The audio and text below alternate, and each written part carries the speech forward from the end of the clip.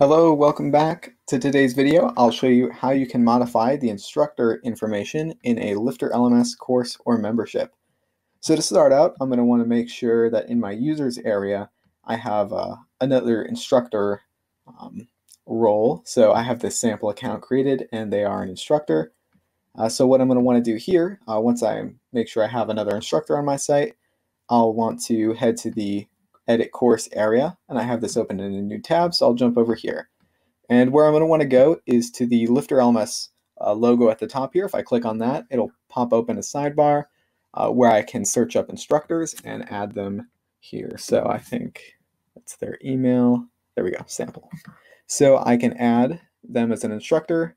And now if I update this, there should be the two instructors uh, in this area here. So now that's updated. Uh, let's head back and reload this. Awesome.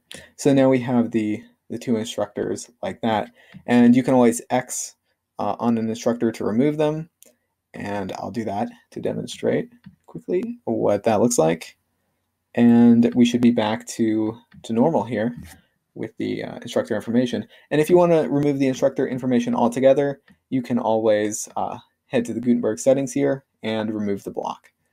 So yeah, this has been Will Middleton from WPCourseGuide.com showing you how you can modify the instructor information on a Lifter LMS course or membership.